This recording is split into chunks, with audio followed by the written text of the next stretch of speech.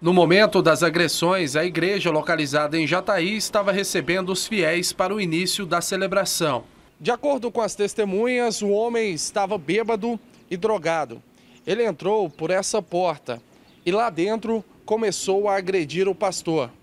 Logo em seguida, esse homem pegou um botijão de gás que estava vazando e um isqueiro e ameaçou causar um incêndio. No momento que a gente se deparou com essa situação ali de um possível incêndio, a Guarda Civil Municipal já está aí automaticamente ali, já com as suas duas guarnições que estavam no local, é, foram para cima do, do, indivíduo para contê-lo ali da melhor forma possível é, e a gente conseguiu conter, tomar o botijão de gás dele ali para evitar que se causasse um incêndio ali no local.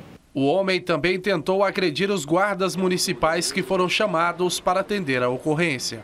Ameaçou a guarnição, ameaçou o pastor de, de, possível prática de um homicídio ali contra a sua pessoa.